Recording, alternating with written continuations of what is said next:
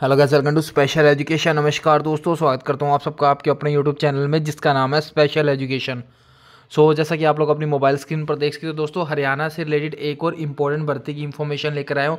आपके अपने हरियाणा में पटवारी के पदों पर नई वैकेंसीज निकाली गई है और आप कह सकते हो बम्पर मात्रा में भर्तियाँ निकाली गई है। बारह सौ पोस्ट आपकी है और अप्लाई करने की जो फ़ीस है वो दो सौ छत्तीस रुपये है। अप्लाई आपको ऑनलाइन करना है। तो चलिए मैं आपको सीधा ऑफिशियल नोटिफिकेशन की तरफ़ ले चलता हूँ। तो सबसे पहले हम लोग एप्लीकेशन फॉर्म एप्लीकेशन की जो फ़ीस है उसके बारे में बात कर लेते हैं। टू थर्टी सिक्स रुपये एप्लीकेशन फ़ीस रहेगी जर्नल ओबीसी और ईडब्ल्यूएस e कैंडिडेट के लिए।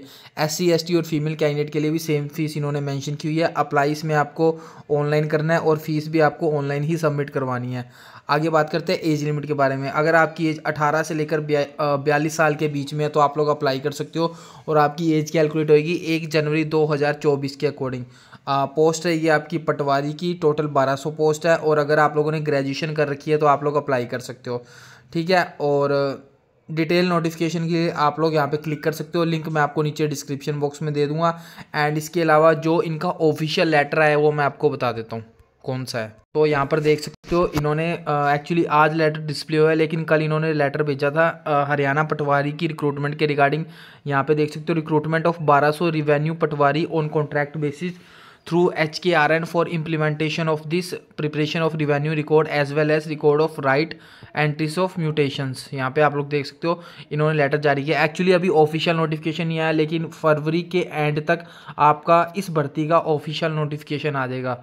यहाँ पे मैं आपको पढ़ को पढ़ के दिखा देता हूँ। उपरोक्त विषय के संबंध में आपको सूचित किया जाता है कि विषयाधीन मामले में आपके द्वारा दी गई कार्यवाही से आज ही इस निर्देशालय को अवगत कराया जाए।